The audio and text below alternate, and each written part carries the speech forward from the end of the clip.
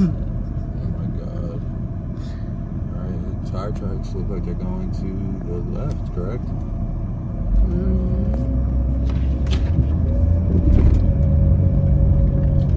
Good, Betsy. Ooh. Bad Betsy. I don't know, we're just gonna keep following tire tracks. I'm not gonna keep stopping looking at the GPS. Wherever it takes us, it takes us. Make it a real adventure. Tire tracks are fresh as fuck too. Mhm. I'd say from maybe like an hour or two ago. Yeah, that's it. Uh huh. Can't see how fresh they look. I mean, I said the other tracks look fresh. You're like, yeah, that was probably like a couple days ago. oh, good. Oh, you got glasses on too. so- yeah, I look my glasses low. oh shit. Oh, Good thing I noticed that. I'm sorry. So we're on some trail. Now we don't know what it is. Uh, we're just driving clay roads, and we've seen this one, so we decided to take it. There's been a couple spots where we didn't know if little Betsy was gonna make it through. She's done it though. There's a puddle up here.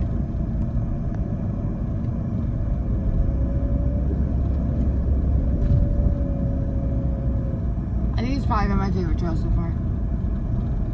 I haven't taken you down 46 yet. No, Uh-huh. I really like this Damn it, why that's some why why we haven't done that? We're down 46. Yeah. Uh, because you guys are always like, let's go fishing. Oh, look, we went over two trees. Nice.